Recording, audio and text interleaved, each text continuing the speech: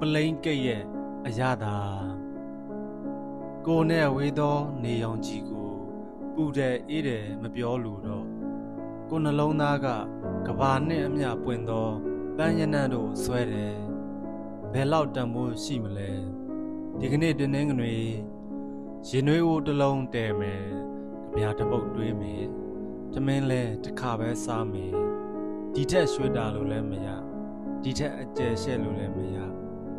အလုံးမရှိအလုရှာ ကိုယ်သိငယ်မှု ကိုယ်တိုင်ကြုံရသောမျက်လုံးများနဲ့ကိုယ်ဘဝတဲ့ရေရှိုးခါနီးကိုယ်တကူလုံးအနုစိတ်ပြန်ကြည့်ဘာစိတ်မြင်ကြောင်မှမရှိ ခင်စော်မြင့်